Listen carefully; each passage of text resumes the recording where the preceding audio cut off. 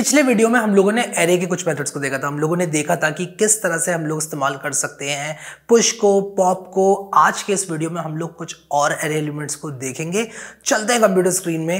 Let's get started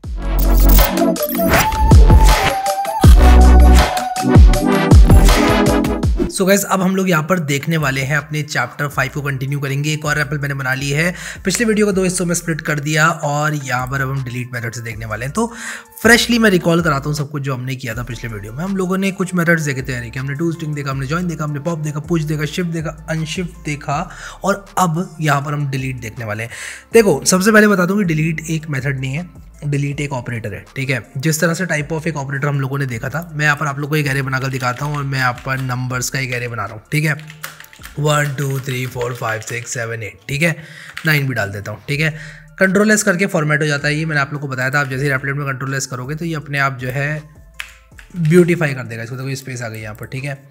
इसको मैं run करूँगा, कुछ भी नहीं होगा, क्योंकि मैंने नम को प्रिंट नहीं किया है, ठीक है?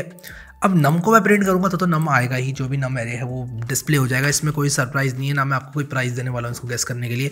लेकिन अगर मैं यहाँ पर डिलीट कर दूँ और मैं कहूँ कि यार नम ज़ीरो मुझे डिलीट करना है, यानी कि ज़ीरो इंडेक्स पर जो एलिमेंट है वो डिलीट करना है, यानी कि वन डिलीट करना है। मैंने आपको बताया था कि इंडेक्स ज़ीरो से स्टार्ट होती है एरेज के अंदर, गिनती ज़ीरो से स्टार्ट होती है, कुछ ऐसा समझ लो। आप जब एरेज के एलिमेंट को गिनना शुरू करोगे zero one two three four ऐसे मतलब करो और अपनी ज़िंदगी में गिनती, अगर आपको कोडर बनना है तो ज़िंदगी में अपनी गिनती करना ज़ीरो से शुरू कर दो, ठीक है? कहीं भी मतलब मैं तो कहीं भी जाता हूँ ज़ीरो से शुरू कर देता हूँ गिनती अपनी zero one two three four लोग पागल कहेंगे, कहने देना ठीक है? One two three four five six seven eight nine तो यहाँ पर आप देखो, अगर मैं ये काम करूँगा तो मेरा ज़ीरो एलिमेंट डिलीट हो जाएगा। अब देखो, यहाँ पर एक चीज़ देखना आप लोग, ठीक है? वन एम टी आइटम यहाँ पर लिख कर आ रहा है। तो इस बात का हम लोग को ध्यान रखना है कि जब हम डिलीट ऑपरेटर का इस्तेमाल करते हैं तो यहाँ पर जो एरे की लेंथ होती है, वो अफेक्ट नहीं होती है। अब देखो यहाँ पर अगर मैं नम डॉट लेंथ करूँगा, ठीक है तो क्या होगा? पहले कितनी थी लेंथ इसकी नौ थी। अब क्या है इसकी लेंथ अब भी नौ ही रहेगी। आप लोग देख लो। डिलीट करने से पहले भी अगर मैं इसकी लेंथ जो है, ये इस तरह से करूँगा। तो नौ नौ ही आएगी। अब एक इंटरव्यू क्वेश्चन बनता है इससे कि पूछा जाता है कि क्या एरे की लेंथ चेंज होगी? ये पूछा जाता है कि भाई मैंने ये किया, अब मैंने ये चला दिया। आई कैन अश्योर कि ये जो लाइन है वो ज़ीरो एलिमेंट को डिलीट करेगी एरे के अंदर। ऐसा इंटरव्यूर बोलता है आपको। बोलता है कि मैं श्योरिटी दे रहा हूँ आपको कि ये वाली लाइन ज़ीरो एलिमेंट को डिलीट करेगी एरे के अंदर।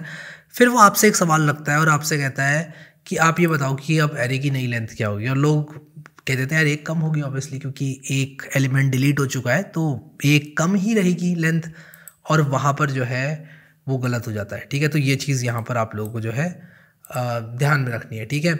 आगे बढ़ता हूँ मैं एरे के मेथड्स की हम लोग बात कर रहे हैं कॉनकैट ठीक है? अब देखो कॉनकैट को बहुत ही क्लेवरली आप लोग इस्तेमाल कर सकते हो एक से ज़्यादा एरेस को जोड़ने के लिए।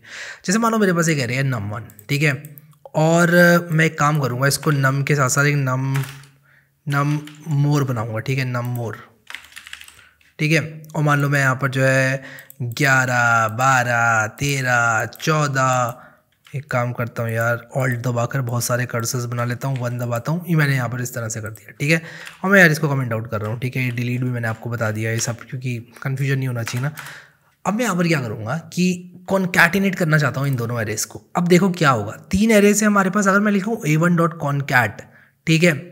तो क्या होगा? एक नया एरे बन जाएगा। यानी कि मैं यहाँ पर कुछ इस तरह से बना सकता हूँ। Let new array is equal to num dot concat और नम मोर ठीक है? नम मोर और अगर मैं यहाँ पर आप लोग को अभी console dot log new array करके दिखाऊँ तो आप लोग यहाँ पर देख सकते हो कि हमें एक नया एरे मिल रहा है, जिसमें कि दोनों एरेज मर्ज हो चुके हैं, ठीक है? तो क्या क्या हमारे जो पुराने एरेज थे नम और नम और वो चेंज हुए? एब्सोल्युटली नॉट और ये चीज़ मैं प्रूव करने के लिए आप लोगों को दिखा देता हूँ कि चाहे तो आप लोग नम को देख लो प्रिंट करके, ठीक है? या फिर आप क्या करो नम मोर को कर, देख लो प्रिंट करके, ठीक है?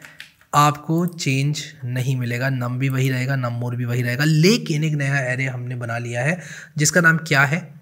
जिसका नाम है न्यू एरे और वो हमारा एक नया एरे बन गया। तो जो कॉन्कैट मेथड होता है, वो एक नया एरे रिटर्न करता है, वो सारे एरेज को मर्ज कर देता है, ठीक है? क्या मैं एक से ज़्यादा एरे दे सकता हूँ? और यही मैंने नोट्स में दो एरेज का एग्ज़ाम्पल दिया हुआ है। क्यों दिया हुआ है दो नोट्स का एग्ज़ाम दो एरेज का एग्ज़ाम्पल नोट्स में? ताकि आप लोग को पता चले कि यार ये एक से ज़्यादा एरेज को भी ले सकता है, ठीक है? हम मान लो मैं नम मोर के साथ साथ एक नम इवन मोर बनाऊँ, और इसे मान लो मैं कुछ बड़े बड़े नंबर्स डाल दूँ, जैसे थ्री डिजिट के, ठीक है?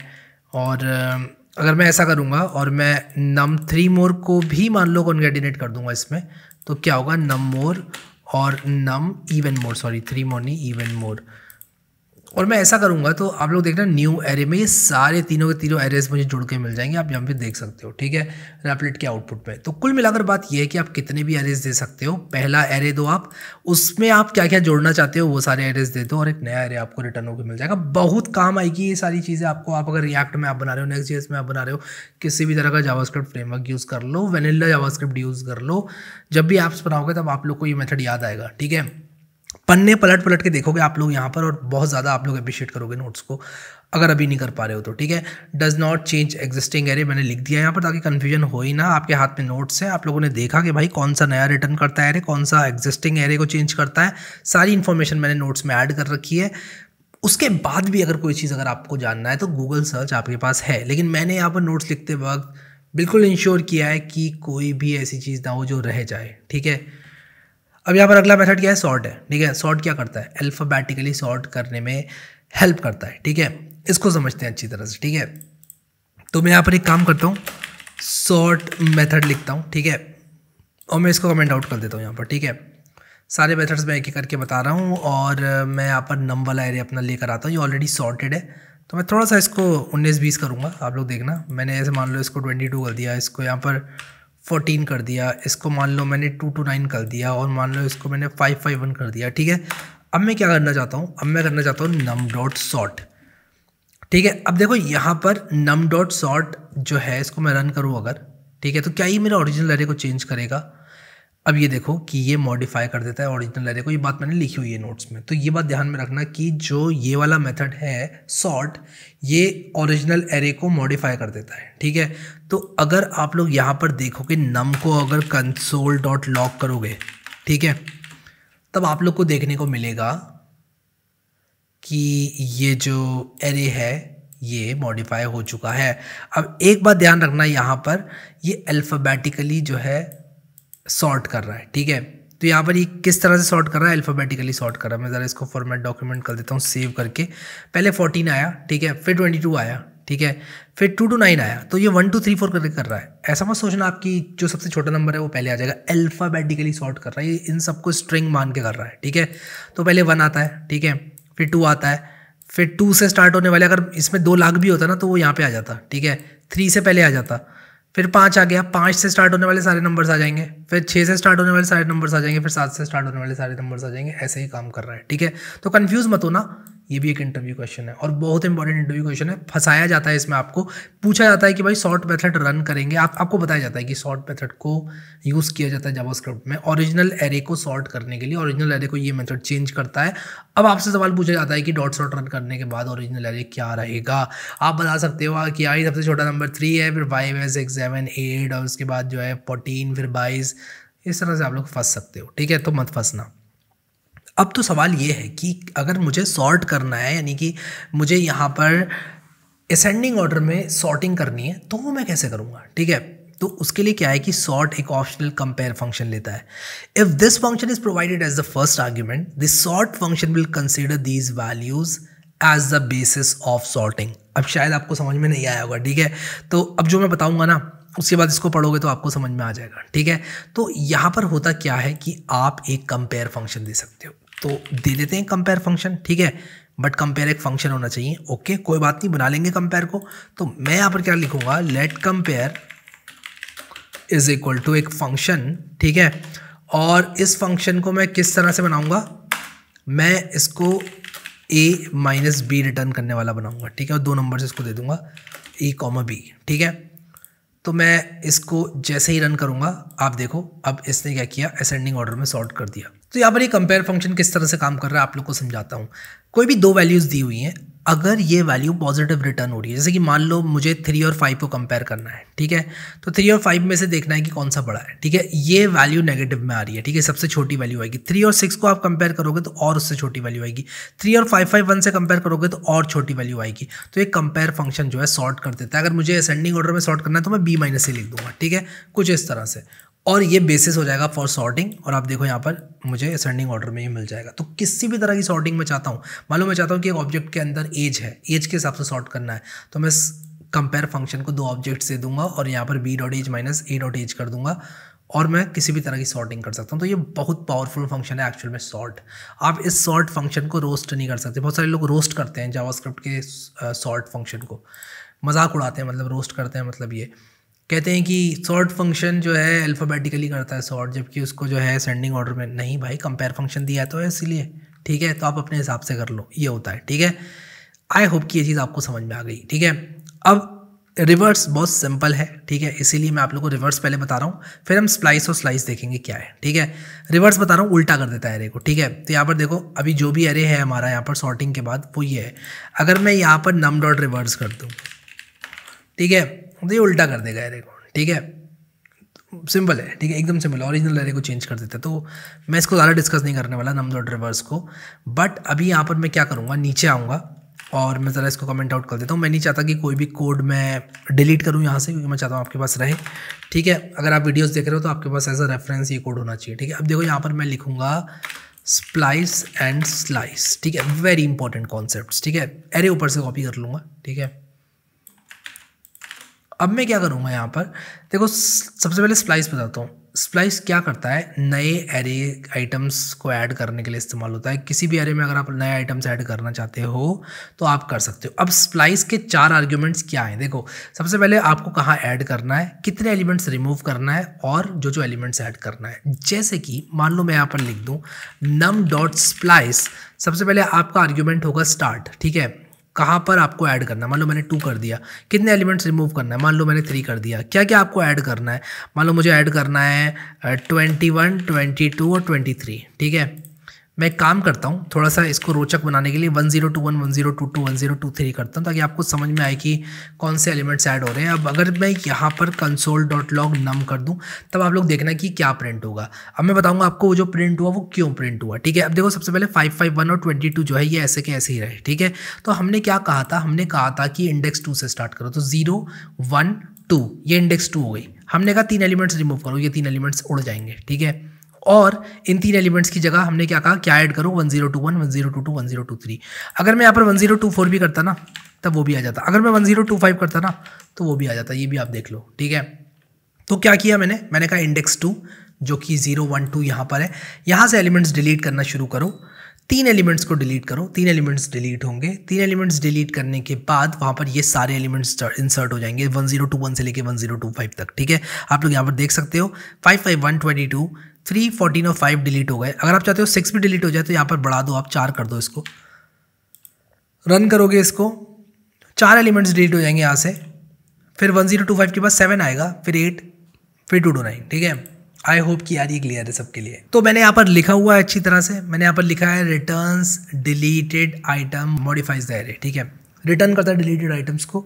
और मॉडिफाई करता है सोर्स एरे को, ठीक है? ये सोर्स एरे को मॉडिफाई करता है, मैं बार बार बता रहा हूँ। और रिटर्न क्या करेगा? अगर आप यहाँ पर ऐसे कर दोगे let deleted values is equal to और आप यहाँ पर डिलीटेड वैल्यूज़ को जो है प्रिंट करोगे अगर तो आपको वो वैल्यूज़ रिटर्न होकर मिल जाएँगी जो डिलीट करी है इसने, उनका एरे एक, ठीक है? इसका टाइप ऑफ़ करोगे तो ऑब्जेक्ट आएगा, क्योंकि एक एरे है, ठीक है? आप देख लो यहाँ पर ऑब्जेक्ट आएगा, उप्स, मैंने दो बार क्लिक कर दिया गलती से ऑब्जेक्ट ठीक है? तो कुल मिलाकर आप समझ गए यार, ठीक है? समझ गए ना? कमेंट कर दो, समझ गए, ताकि मुझे पता चले कि आप समझ रहे हो जो जो मैं बता रहा हूँ आपको। स्प्लाइस कभी मत भूलना और इन नोट्स के साथ तो कभी मत भूलना। इन नोट्स को यार घर लेकर आओ। घर लेकर आओ का मतलब यह है कि जाओ जेरोक्स की दुकान में प्रिंट करके और लेकर आओ अपने पास स्टैपलर करके रखो यार इसको, ठीक है? जब कोर्स ख़त्म हो जाएगा या उससे पहले ही जितने भी मैंने अपलोड कर दिए आप जाके इनका प्रिंट आउट निकालो, थोड़े बहुत पैसे निकालो, अपनी जेब से खर्च करो और काफ़ी सस्ते में हो जाता है यार आजकल तो प्रिंट और मेरी आपके नज़दीकी ज़ेरोक्स वाले के साथ कोई डीलिंग नहीं है, लेकिन आप लोग इसको प्रिंट कराओ अपने लिए, ठीक है? और मैं बता रहा हूँ आपको, आपके फ़ोन में रहेगा, आपके लैपटॉप में रहेगा, कुछ लोग होते हैं ऐसे जो कि देख लेते हैं बट ज़्यादातर लोगों के लिए प्रिंट प्रिंट आउट्स काम करते हैं। आपके पास रहेगा हाथ में प्रिंट आउट ना तो आप बस बता रहा हूँ मैं आपको, वो आप लोगों के लिए बेटर रहेगा। स्लाइस की बात करता हूँ। Slice is out of piece from an array एक टुकड़ा स्लाइस आउट कर लेता है।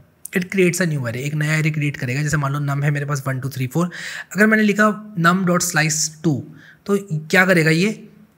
इंडेक्स टू से लेके एंड तक सारे एलिमेंट्स का एक एरे बना लेगा। और अगर मैंने इसको स्टार्टिंग एंडिंग दे दी तो ये क्या करेगा? मैंने कहा ज़ीरो वन यहाँ से स्टार्ट करो। और कहाँ तक जाओ? इस इंडेक्स तक जाओ, ये इंक्लूड नहीं होगी। ज़ीरो वन टू थ्री ये इंक्लूड नहीं होगी। ठीक है? अगर आप लोग कन्फ्यूज़ हो गए तो आ जाओ यार यहाँ पर, ठीक है? स्लाइसिंग भी बता देता हूँ। तो मैं क्या करूँगा कि इन तीनों को यहाँ पर कुछ इस तरह से कमेंट आउट करूँगा और यहाँ पर मैं लिखूँगा नम डॉट स्लाइस ठीक है? मान मैंने थ्री कर दिया, ठीक है? अब मैं कंसोल डॉट लॉन्ग नम करता हूँ। तब क्या होगा? तब क्या होगा? थ्री से लेकर एंड तक ज़ीरो वन टू थ्री मुझे सारे एलिमेंट्स दे देगा।